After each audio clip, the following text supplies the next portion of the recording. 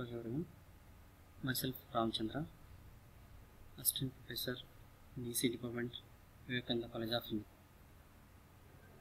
Okay, once you read the program, see, uh, go to the debug, start, and here, and already open the uh, main register here. You can see here this is the main register.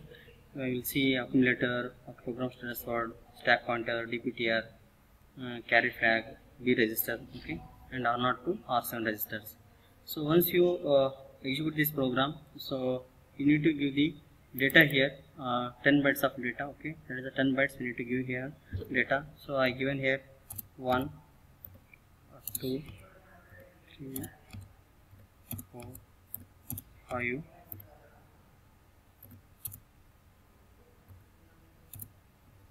six, seven, eight, nine, one, zero. So this is the 10 bytes data given here in the source address 40 h to the uh, the 10 bytes. Okay, what you observe here 1, 2, 3, 4, 5 up to 1, 0.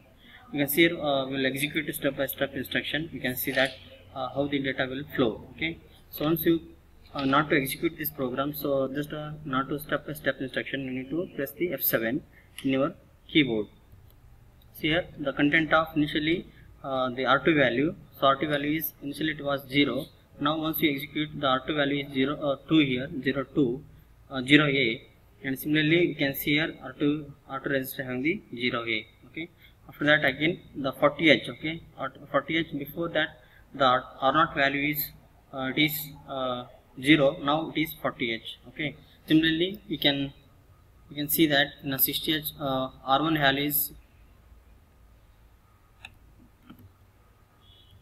R1 is 60H okay and content of uh, R0 is copied to the content of R0 means 40H okay 40H is copied to the accumulator okay. Now accumulator is it is 0 once you execute this instruction so what happens? The accumulator value is this is 0 1 okay? So this the accumulator value is 0 1 okay.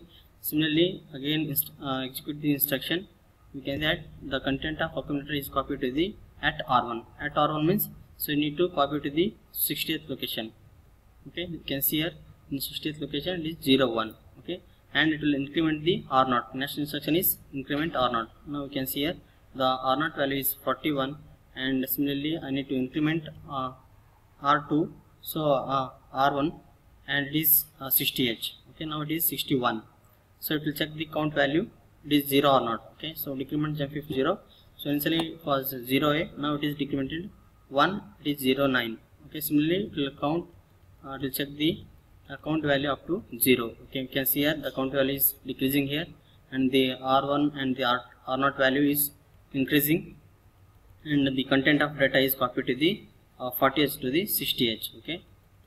This is how we need to uh, move a block of 10 bytes of uh, block of data from 40h to 60h in order to internal okay? So count value is 05 now 04 03 02 01 and 0 okay now so all the content 10 bytes of data is copied from the 40h to the 60h location. Okay so this is how we need to do the uh, to move a block of data from internal to internal memory location